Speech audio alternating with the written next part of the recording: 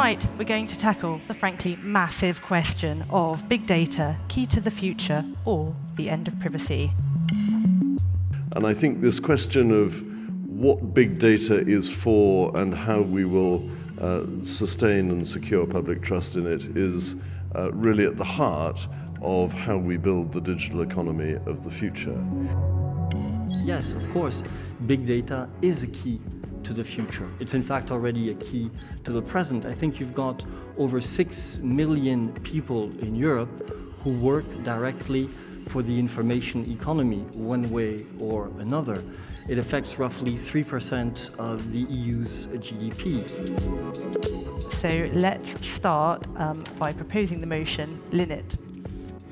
So I think it's important to come up with some ideas on how to do no harm rather than how to preserve privacy. Data is the best thing that we've got going in society to help us with our problems. And I think that one conclusion for me comes out of this is that group privacy is the next direction to go. When you think about group privacy, do you lose individual privacy? Is it a either or? Is it a both and? And what does it mean? How can we attack that question intelligently and in debate between equals and between those who are really informed?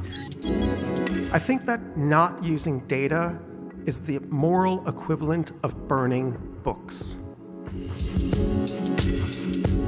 I think that technology, uh, just because certain perspectives are technologically speaking available, should not dictate the solutions and, and, and the values. So it's a, an interaction and therefore we have to work together.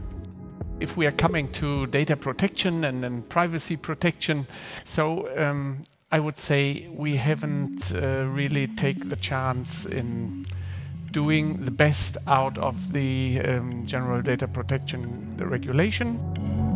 We know that data doubles at a rate that is quite fascinating. So every 12 months, the amount of digitally stored data doubles, which is breathtaking if you stop to think about it you get into data analytics that people can't understand, algorithms that people can't understand, that can't, they can't guess at, and you end up with vast amounts of power and questionable levels of accountability.